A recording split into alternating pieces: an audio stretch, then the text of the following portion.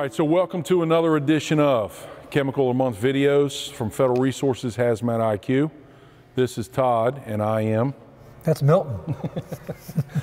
All right, so here's our call today. We're gonna we're gonna be dispatched to an event, and a little confusion from the dispatcher from the caller, and we're dispatched to first names the same. Both both reports are you're dealing with a chemical that, that both chemicals began with sulfur, but the dispatcher couldn't tell if the caller said sulfur pentafluoride or sulfur tetrafluoride. Right, right. So is there an attention getter in the name?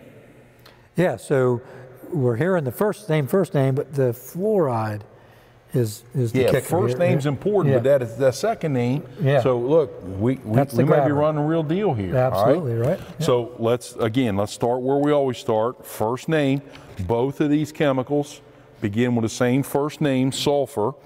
Sulfur. Left-hand side of chart two, sulfur. Not there, not there. So Todd, we're going above the line. Sounds like a reasonable choice. Yep. Yep. Yep. Gas, heavier than air, yes on vapor pressure, toxic of course. P and FID are a yes. Flammability, yes. Corrosive, yes. Fluorine, mm-hmm. I'm betting. Yeah, yes. Yeah, yep. Reactive, polymerized, water and air reactive, radioactive, chart three, chart three, chart three. All right, so sulfur, Sulfur S what we were U L. F U R. Now, Todd, here's the thing I can pull fur Right, out of the top left box. right. And here's a here's a good learning thing review. Anytime you've got a match, just do a scan to make sure you don't have a better match. And granted, we're familiar with the charts, but Todd, look here. Yeah. In the first name corrosive gas, I've got the entire word sulfur as yes. opposed to just a syllable here. Right. So I'm going to go with the entire word sulfur. I'm leaning towards the old red zero corrosive gas. All right. So Mm-hmm. Yes. Todd, Yeah. like I like to do, I like to see if we can find in the book, and let's just figure out whether we are or aren't running the corrosive gas plate. Right. So how about look, see if you can find those two chemicals in the book? So I, I found them on page 291. Both of them on the same Yes, page. Oh, yes, that's, that yeah. makes it easy. It makes it way easier, yep. And it's ironic they get these two confused for some reason, right?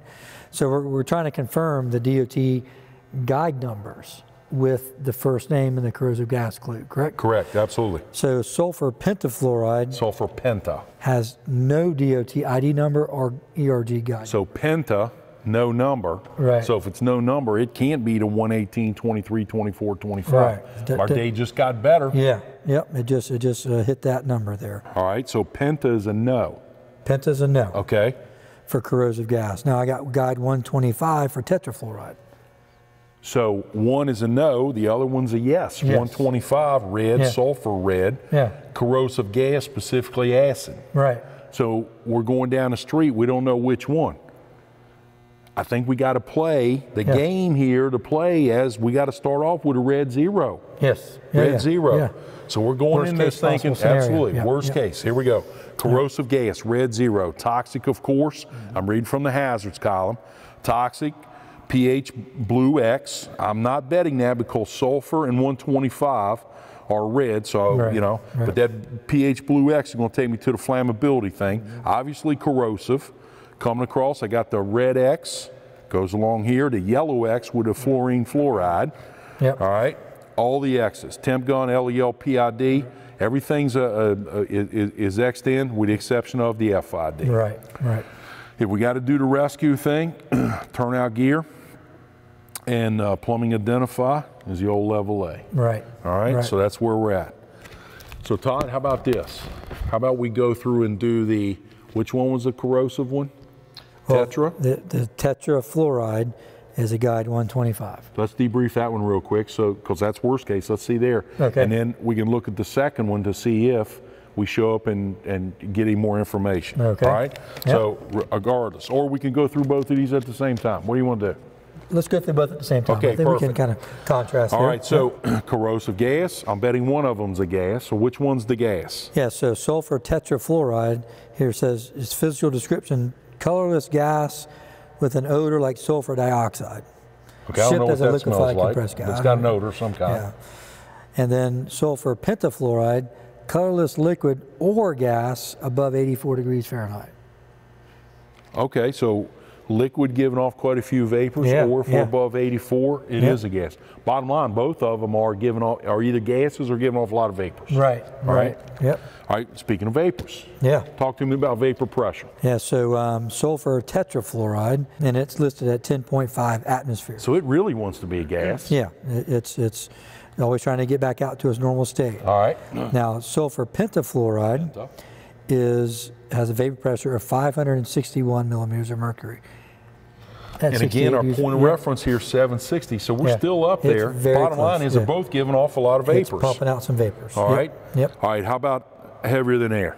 The pentafluoride is eight times heavier than air. Wow. 8.77. And the RGasD for tetrafluoride is 3.78. All right. So both, both of them are heavier than air. Yep. All right. Let's do toxicity. Sulfur pentafluoride has an IDLH of 1 ppm, and its NIOSH REL ceiling is 0.01 ppm. So that's the lowest concentration that anybody can be exposed to without respiratory protection. Okay. So one Yeah. part per million IDLH. Wow. yeah, that's that's a low. low. number, high Yeah. toxicity Yes, value. yes. What's the other one? The So sulfur tetrafluoride. and again, that's the That's 125 the, one. This is the corrosive one. corrosive gas, not determined. Huh. Seems strange, doesn't it? Yes. Yeah. Talk to him. Yeah. And it has a ceiling of 0.1 parts per million, which is, you know, hundreds of a ppm more than a pentafluoride. So toxicity get lost in wise, the they're both pretty much the same, right? Yeah. Here it's low, Yeah. low levels regardless of which yes, one. Yes. All right, Todd, will PID see it? Either them? PID, um, the IP for pentafluoride is question mark. So it means it has an IP. We just don't think a 10.6 lamp will see it. May or may not. But if it doesn't, don't don't be expect don't be worried about it. If it Okay. does, don't freak out either, right? All right. And the IP for tetrafluoride is 12.63. It's not seeing that one. It's not going to see that one. So if we get a PID reading, It's, we can tell it's the, it might be, we well, could probably rule this one out. this one out. Yeah. Right. And if we don't get a PID reading, we can't rule either one of them out. Right, Because of the question mark. exactly. How about the FID? The FID only remember it's these carbon and hydrogen bonds. This has no carbon or hydrogen either one of them. Matter of fact, the pentafluoride is S2F10. The sulfur tetrafluoride is SF4. So there's no No C or H. no C's and H's. All right. How about flammability? We got that issue. There's a, a NA for L for right, neither one for flammability. Neither one. So Flashpoint from, NA. from a, that just tells me that since we are thinking the corrosive thing, the flammability went away. We got to go in here and do the deal. right. That's that's the level A suit. That's Yeah. when you wear level Yeah, A. this- Corrosivity this with no is- Yeah, this flammability. is the perfect call for it. All right, so corrosive. Now we already talked about the one of them has the 125 guide number. Yep. So that answers that one. Yep. The other one, do we got any synonyms, trade names that take us down to cor- help to answer the corrosivity question? Not really, because the synonyms trade names here are, are disulfur decafluoride or sulfur decafluoride. So there's really no clue into Both its synonyms have corrosive- fluoride in it, Yeah. though. All right, how about reactive? Polymerized specifically. Yeah, so again, there's no carbon to hydrogen double bonds. There's no DOT ID number listed here at all for pentafluoride. For tetrafluoride, there's no P listed to the guide number. There's nothing down here that talks about polymerization. So So polymerization issue went away. Flammability, we shouldn't have anything. Again, about- pushing us to that level A type call. How about water air reactivity? So pentafluoride under incompatibilities and reactivities, none reported. Incompatibil- Incompatibilities and reactivities for tetrafluoride. Uh, let's see, moisture, concentrated sulfuric acid, dihydrogen fluoride. Note, readily hydrolyzed by moisture, forming hydrofluoric acid Whoa. and thionyl fluoride. Whoa. Yeah. So there's our clues right And here. That's, that- that's the 125 corrosive gas, yes, right? yes. So that's leading me to say we, we, we could certainly get a change on the F paper there. Yeah, so this this is our potential bad actor right here. All right, what about the solubility stuff?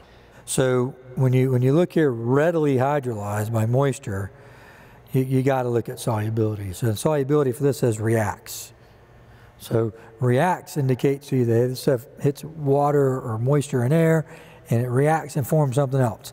That's one of the good things about this book, Milton, is that th- this book will actually give you information that if it makes something, mixes Happen. with water, and makes something else that's hazardous, it'll tell you what it is. How about the other one, solubility? Solubility, insoluble, and none reported for incompatibilities and reactivities. Okay. Radioactive? Well, there's no guide number for this one, so No. yeah, say no. Tetrafluoride, 125, that's not 161 through 166. It's not 112, 113, 114 for explosives. So, So Todd, how are we going to know which one we got? well, to have to let the meters do some answering for us. So how are we getting dressed? So, uh, my initial response, if we can trust and verify that these, it's one of these two, I say we enter in for recon on this one. If there's no lives to be saved or rescues to be made, and if they have, hopefully they've already been done, but we're going to enter this in a um, level A with SCBA's. And if we go in and the pH and the F paper on the suit back here on the outside changes color, that obviously pH tells us the yes on the corrosivity. Right. If we've got the F paper change, then that That that tells us na- that takes us there. If Yeah. it doesn't change, We could say, we lean the other way, Yeah. right? yeah, So get dressed the same. The hazards that are there are relatively the same. The hazards that are not there are relatively the same. Flammability, polymerization, Right. radiation, all that. They're both toxic at the same amount. Right. Bottom line is, the meters answer couple, the couple cent piece of paper tells us Right. which one we're dealing with. Act, react according. Isn't that crazy? Let's add a little twist. Let's add it. because because uh, there may be you know we talk a lot about this in our training classes about hydrofluoride hydrogen fluoride hydrofluoric acid and we, we've been teaching for years that you know uh, between a 1 and a 5% body surface contact is Okay. considered lethal to a human And just a point of reference, that's the old palm of your, palm of hand, your hand, whatever. right? And so we've often said that the yellow F paper upon entry for rescue or recon and bunker gear SCBA is an abort mission call In fire gear, in fire gear. level B or level C. Yeah, yeah. So you know, th- what we what we don't want to get tripped up on is on names, right? That's one of the things that Hazmat IQ and Above Line Below Line's been teaching for many years is that we're not going to let the names trip us up, but we're going to let hazards identify. The name can be an attention getter Yes. and pay it. Yeah, pay attention. But we're not going to freak out on Right, this stuff, right. right? So let, let's put this into a scenario where we've got one or two of these chemicals in this warehouse, and there's a, a downed person, and we need to make a rescue. okay. It's a line of sight. Okay. So they've pulled up outside the, you know, bay doors here, and they can see, look in here. There's a couple of cylinders and containers, Right. And there's a person laying within 50 feet of their doorway, Right. and all they have is Right F here. paper, Cylinder pH paper. leaking. Right. They got their stay alive five meters, and they're going to make entry into here. Now, And as a hazmat team, that's one. If they got the meters, that's what I'm gonna tell them. yeah, It's a go. Yeah, yeah, go. Deploy your equipment. Stay alive five. yeah. So if they make entry into this environment, and let's say the pH does change, Okay. and even for this volatile liquid, let's say maybe it is acid, they just don't, don't identify it. The there. top one there. Yeah. So let's say the pH changes, but the F doesn't change, and they make the grab, even in this fluorinated material. You know, this is the one thing about the science. I can't tell you why fluorine gets kicked out of some of these things, why it's a bad actor, why why the parents kick it out of the home. I got no idea. Only I can tell you is that sometimes it gets it out, sometimes it doesn't. And what tells me it does or doesn't is that piece of five cent piece of Exactly right. Exactly right. So, and how do we know this? Because we've tested it. We have tested these papers. We've seen it change. We know that it works, and we could, uh, w- with all good consciences, sit here and tell you that we trust this paper. We know it works. Put it on your masks. Make entry. If it changes, or you think it changes, hey, get out. And the same crew going in, the paper changes. The pH paper changes red, and the F paper changes yellow. Right. That that's your boogie. answer there. Time to boogie. Right. Yep. Exactly right. And maybe another crew's got to try to come in from another point of view or point of area Yeah, or yeah. whatever, and maybe, Yeah. maybe you know that's hazmat team. It's, Yeah. it's game on here. Let's Yeah. get dressed and do it. yeah, And exactly right. So meters tell you what's up. Exactly right. All right. So I think that wraps up uh, this this month's edition of Chemical of the Month. We appreciate you uh, paying attention and coming along with us, and uh, we encourage you to get the books out. uh, study this information, go through the charts, um, email us with any uh, interesting runs or calls you've been on. We'll be happy to do your chemical of the month next time.